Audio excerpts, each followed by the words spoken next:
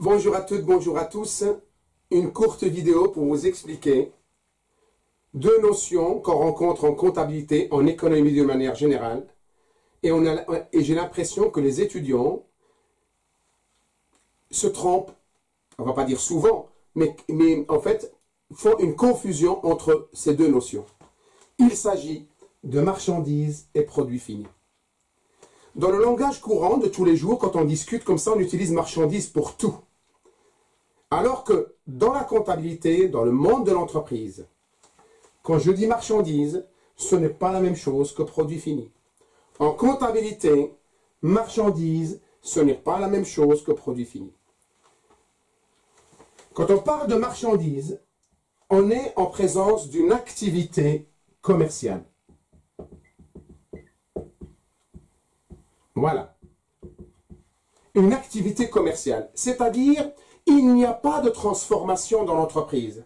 L'entreprise, elle achète et elle revend. Exemple, c'est un distributeur, une librairie, une librairie, elle achète les stylos et elle les revend. Elle ne les fabrique pas. Donc le stylo pour la librairie, en comptabilité, c'est une marchandise. C'est très... Il faut, ça. Et en général, quand on comptabilise, quand on comptabilise la marchandise, que ce soit stock de marchandises dans le bilan ou achat de marchandises, ce n'est pas le même numéro de compte quand il s'agit d'un produit transformé. À titre d'exemple, quand on est dans le compte de résultat, quand on dit achat de marchandises, c'est compte numéro 601, 607. Vous voyez 607. D'accord? On sait que c'est une marchandise. Donc vous avez compris, c'est une activité commerciale. Maintenant, produit fini, on utilise l'expression produit fini quand le produit est fabriqué par l'entreprise.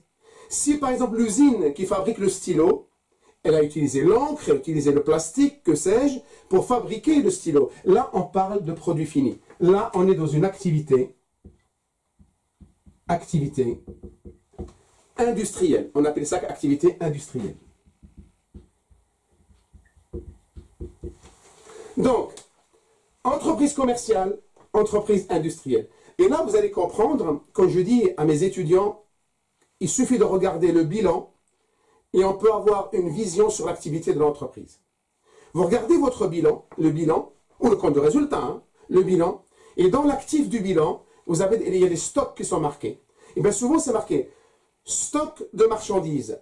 Et bien si vous ne voyez que des stocks de marchandises, et dans le compte de résultat, l'entreprise ne fait qu'acheter des marchandises, je peux dire que c'est une, société commerciale.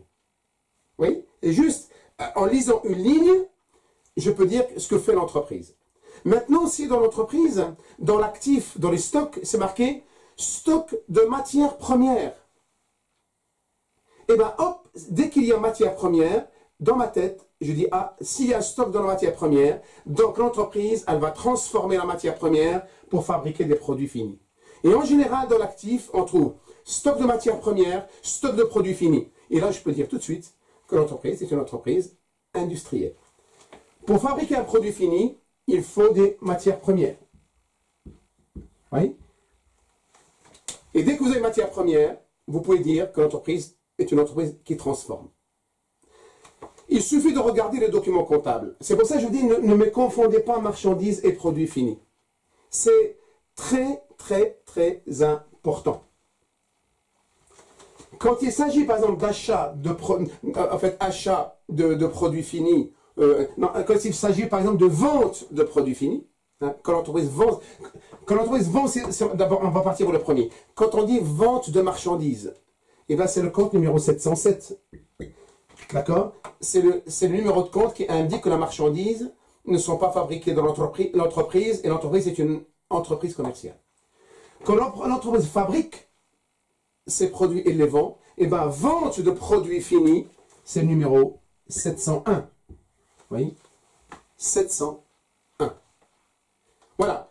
J'espère que maintenant vous voyez la différence entre marchandises et produits finis et ne, commettez plus l'erreur d'utiliser comme ça, comme vous voulez, ces deux mots, surtout quand on fait de la comptabilité. Maintenant, une entreprise, elle peut avoir deux activités en même temps. Activité commerciale et activité industrielle.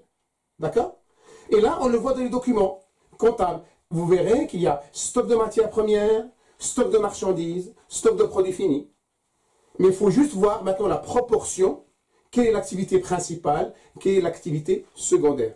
Mais l'essentiel, c'est que maintenant vous savez, maintenant vous ne commettrez plus la même erreur. Marchandises, produits finis, ce n'est pas la même chose. Marchandises, l'entreprise ne le transforme pas, c'est une activité commerciale. Produits finis, l'entreprise transforme, c'est une activité industrielle, donc c'est une entreprise industrielle et qui fait appel à une matière première. Eh bien, j'espère que vous avez compris ces deux notions-là. Eh bien, je vous dis bon courage et peut-être à une prochaine fois pour vous expliquer d'autres notions en comptabilité et en économie en général. Au revoir.